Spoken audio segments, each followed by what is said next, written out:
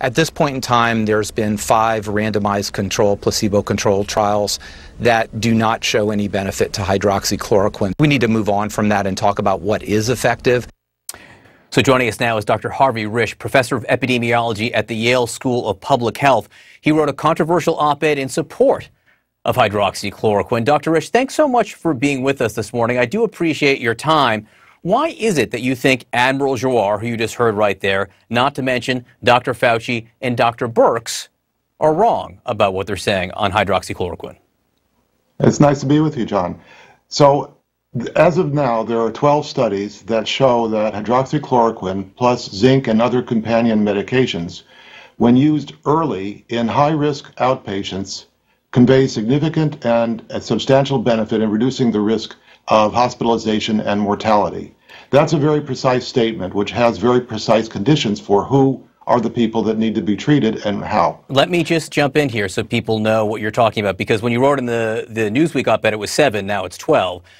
None of those studies that you just cited are random placebo-controlled trials, what Dr. Anthony Fauci refers to as the gold standard. Listen to Dr. Fauci. Any and all of the randomized placebo-controlled trials, which is the gold standard of determining if something is effective, none of them had shown any efficacy for hydroxychloroquine. The random placebo controlled trials, none of them have shown efficacy, correct? Uh, that's not actually correct. The problem with those randomized controlled trials is they were trials done on the wrong people. They were trials done on low risk people who have very, very low risks of hospitalization and mortality. So you don't do a study of prostate cancer in women to prevent prostate cancer in women because nobody's going to get the outcome. And that's what those studies did. The Boulware studies and the Mitjà studies in, in Catalonia, they were all on very low risk people who are not going to get it and uh, hospitalized, you know, or die by and large. And we don't treat those people. We well, treat high risk people. Well, look, okay, to that argument, again, your paper in Newsweek goes on to suggest the problem is they're not being tested, hydroxy is not being tested on outpatient people, not hospitalized people. So a little shift in your argument there from what you wrote in Newsweek already. The fact of the matter no, I is, think, I'm sorry, I think the, that's a mistake. The fact, the, the fact of the matter is, the fact of the matter is, there are studies out, these random placebo-controlled trials, including the one just published uh, in JAMA, uh, well, the one that was published in JAMA before from University of Albany, and there was one published uh, just a few days ago that comes out of the University of Minnesota. It's, it's tested on people early on in the process, correct? Which is the same type of trial that you were citing as proving benefits. Again, there are no random placebo controlled trials that show a benefit, correct? No, you're, you're misstating what I said. I said it had to be in high risk people. In fact, in my Newsweek paper, as well as my American Journal of Epidemiology papers, I said outpatients, high risk. People over 60 with obesity or diabetes or cardiovascular diseases, those are the people who get treated. Young people with no conditions don't need to be treated by and large unless in rare cases they present with shortness of breath. They don't need to be treated. But those were the people who were studied in the Boulware, Minnesota trials and in the Spain trials and so on. So as I've said, you have to treat the right people and you have to study the right people. Those studies did not study the right people, period. That's the bottom line. The study published in JAMA published a wide range of ages and people in different situations, and they were given the drug over different times. Again, the question is why haven't any random placebo controlled trials showed benefit? And isn't that a problem for an epidemiologist? No. In fact, the FDA has a huge history of drugs going into widespread use in the medical community for decades that have not been established on the basis of randomized controlled trials. Half of the chemotherapy drugs used in cancer were, were used without randomized controlled trials. The, uh, the antibiotics, amoxicillin, for example, that parents use with their children all the time, day in, day out, was never established with a randomized controlled trial before it was used. We have a whole vast medical literature that that was not the standard. So why is it suddenly the standard now when there's uh, other reasons? I don't think it is suddenly the standard. That is the way the FDA operates. It's the way that Dr. Fauci operates. And I've been speaking to a number of epidemiologists over the last few days who also are frankly shocked that you've moved the bar so much on random these randomized placebo-controlled trials. Let me just read something, uh, what someone wrote me. He said, while I can't dismiss this out of hand, in other words, he can't dismiss out of hand that maybe there is some benefit to some subgroup, for you to discuss it is irresponsible at this point without the public evidence provided by a random placebo-controlled trial. Okay, so in the New England Journal of Medicine, the previous head of the CDC, Tom Frieden, discussed at length evidence beyond randomized controlled trials. Randomized controlled trials in the real world are not gold standards. That is a theoretical idea that does not play out in the real world. For example, in sepsis studies, nobody uses randomized controlled trials for medications to treat sepsis. That's standard, and the whole field knows that uh, Dr. Frieden explained that all real world evidence goes into understanding the benefits and harms of medications. And that is the standard that scientists use.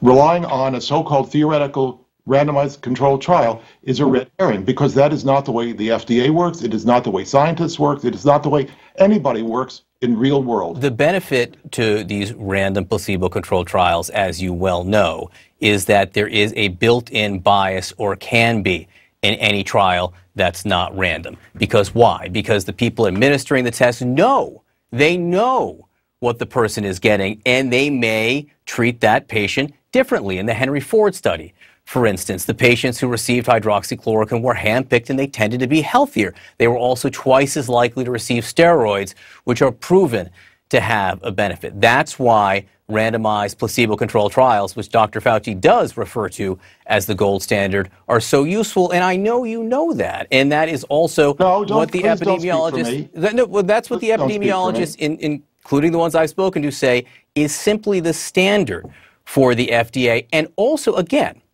the issue here isn't I'm not disputing that you have cited these yes, other studies, these I subgroups. I'm not disputing you have you've, you've cited these studies which show a benefit in subgroups. But the problem is when no, put up against when put up when put up against the random placebo-controlled trials, none of which have shown a benefit. There is a conflict there, which has caused the FDA pause.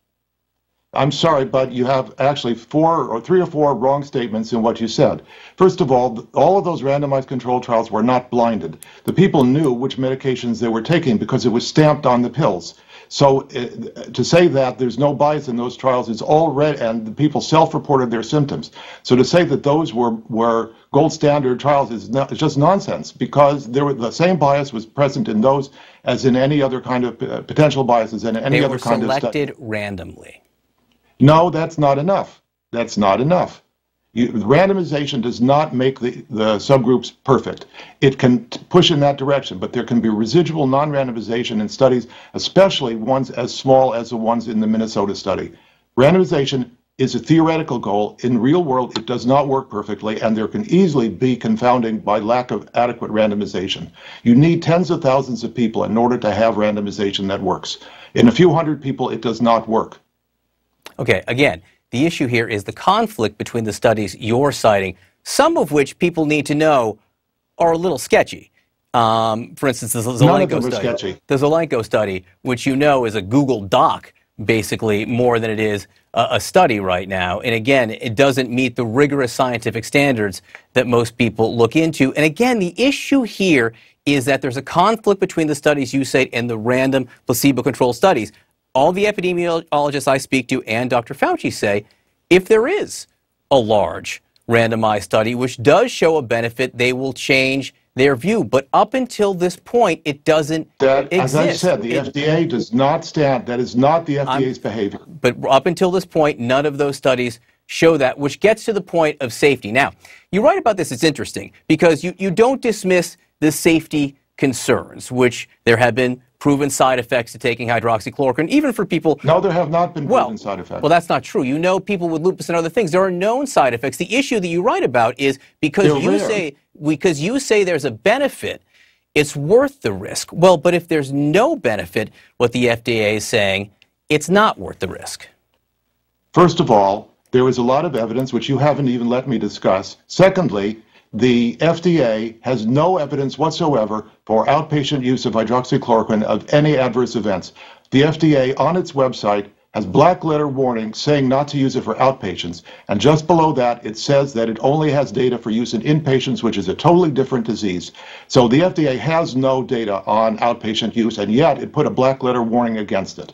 That to me is just un- unconscionable that they could do that and allow 45,000 deaths in the month of July alone because of blocking a medication that they had no data on. The, the data is the random placebo-controlled trials. No, we're talking about data of harm, not no, data no, of harm. No benefit. And what they say is because there is no proven benefit, the possibility of harm is not worth the risk.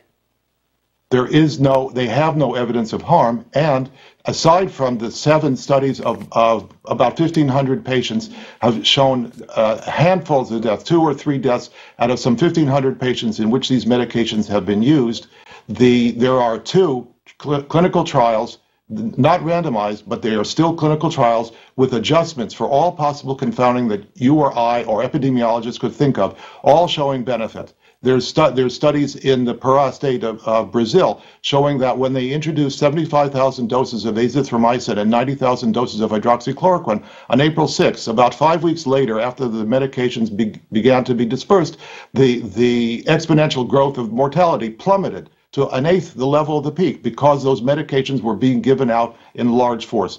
That's the evidence that shows these, these medications work. All right, uh, Dr. Harvey Risch, we do appreciate your time. Thanks for coming on and discussing this. Um, be well. Thank you. All right, New Day continues right now. All right. Good morning, everyone. Welcome to our viewers in the United States and all around the world. This is New Day. Alice